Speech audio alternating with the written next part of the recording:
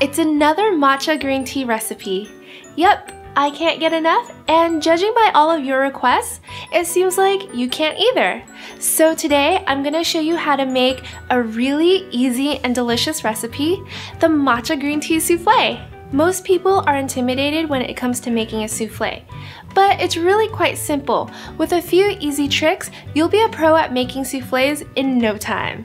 I'll start by buttering my ramekins and then adding a layer of sugar. The sugar will really help the souffle attach against the sides and crawl up to puff up. I'll set those aside while I start working on my base. Now is a really good time to preheat my oven to 400 degrees. In a medium saucepan, I'll add 2 tablespoons of all-purpose flour, 2 tablespoons of granulated sugar, 1.5 tablespoons of matcha green tea, and a pinch of salt. I'll pour in half a teaspoon of vanilla extract into my third cup of whole milk Give it a good mix, then put it on medium heat. As it heats up on the stove, I'll make sure to whisk constantly so that I don't end up with big flour clumps at the bottom. Once the sauce starts to thicken, I'll take it off the heat and add in three yolks that I've separated earlier. I'll give it another quick stir, then put it back on the heat for about 30 seconds, whisking it constantly so I don't end up with scrambled green eggs. I'm looking for a thick, ribbon-like consistency like this. I'll set it aside to cool down, then I'll start working on my egg whites. I'm taking three egg whites and adding it to my mixer's bowl. I'll turn it on medium speed and whisk just until it starts to foam. Then I'll increase the speed to medium high and slowly sprinkle in 2 teaspoons of granulated sugar. I'll continue beating it until it reaches stiff and glossy peaks.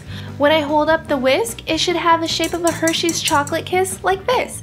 Now to incorporate everything together. I'll transfer the green tea matcha base into a large bowl, then add a third of my whipped egg whites.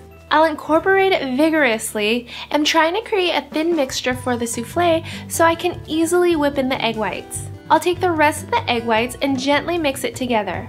Just like my macarons during the macaronage stage, I'm swooping the spatula in a half circle, then cutting it down the middle.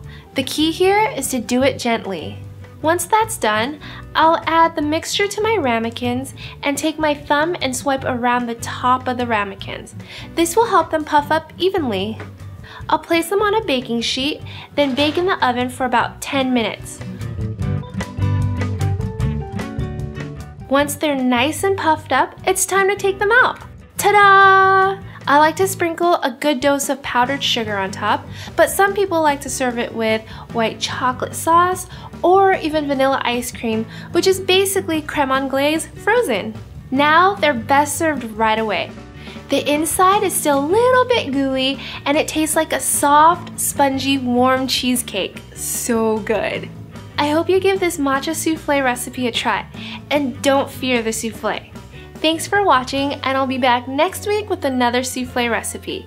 I'll see you next time. Bye!